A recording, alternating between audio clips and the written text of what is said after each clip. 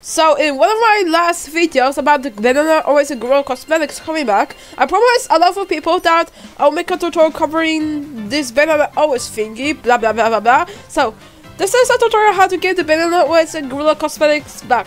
So first you want to go to the description and join my brand new DC which is here. And once you have done that, you have to complete like the onboard to the Gorilla Core. And now you want to go into channels and rules and you want to like follow category, and now scroll down until you see mod downloads.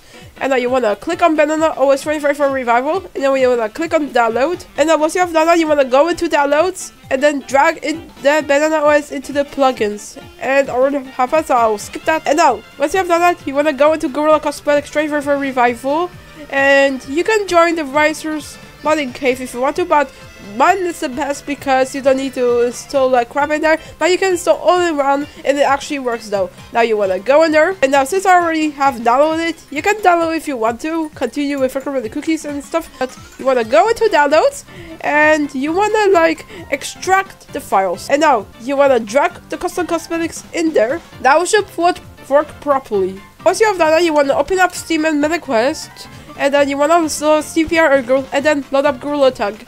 And you should see your watch. You can also install other mods in the Banana OS Discord server and just like that. And if it works, then perfect. Congrats, you officially have Banana OS and Gorilla Cosmetics and Quack like that. And if you think this video was helpful, please consider liking, subscribing for the bell, commenting as it helps on the channel which I'll hit. And also subscribers before I say I've tried so. Goodbye everyone, and have a good day.